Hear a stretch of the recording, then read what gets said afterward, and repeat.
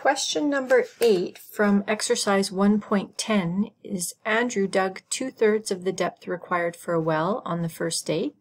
He dug one quarter more of the depth the next day. What fraction of the depth for the well had been dug? And how much of the depth was left? So first let's tackle this question, what fraction of the depth for the well had been dug? So we're going to have to combine to figure out how much in total he's dug from day one and day two. So day one was two thirds and day two was one quarter. We know that we can't add unlike fractions, so we need to make them like fractions. The lowest common denominator of 3 and 4 is 12, so we're going to be multiplying 3 times 4, and we need to do the same on our numerator, and then we're going to be multiplying 4 times 3, and the same up high in our numerator. Now we can rewrite these fractions.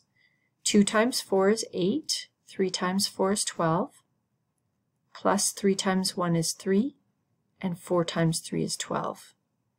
We can now add our numerators. 8 plus 3 is 11. So Andrew has dug 11 twelfths.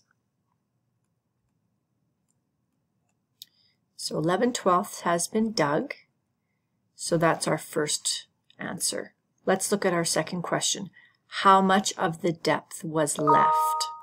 So if we're looking at what remains, for our second question, we're going to have to take the total. So 12 out of 12 would be one full well minus what he's done, 11 twelfths, so that remains 1 twelfth. So 1 12th of the depth is left.